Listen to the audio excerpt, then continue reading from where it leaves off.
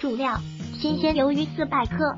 辅料：干辣椒十克，花椒十克，花生仁五十克，大葱墩三十克，姜片十克，蒜片十片，辣椒粉一勺，生抽二勺，老抽一勺，料酒一勺，陈醋一勺，砂糖一点五勺，细盐零点二五勺，鸡精零点五勺，味精零点五勺，香麻油零点五勺。准备时间十到二十分钟，制作时间十到二十分钟，用餐人数一到两人。鱿鱼去肚，剥去软骨，剥去表皮，洗净，将鱿鱼身切开两半，打上花刀，再切成三角形，需切成约三厘米长段。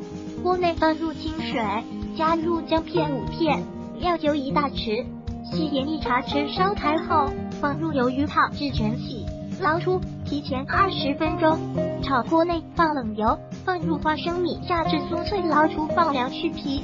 剩下的油放入干辣椒段、花椒爆香后，放入姜片、蒜片、葱段爆香，放入已进水的鱿鱼卷、辣椒粉一茶匙翻炒，同时倒入宫保汁和水淀粉，大火翻炒至收汁，倒入去皮花生米，淋上少许香麻油即可。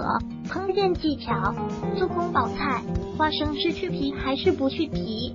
花生去皮后口感更好，鸡被汁淋湿了就起皱，口感不酥脆，苦涩。做宫保菜适的勾薄芡，这样才能挂住酱汁的味道，但又不能太厚。新鲜鱿鱼不仅煮，越煮越老，所以烫和炒的时候动作要快，不要在锅内停留过久。如果喜欢本视频，请订阅本频道。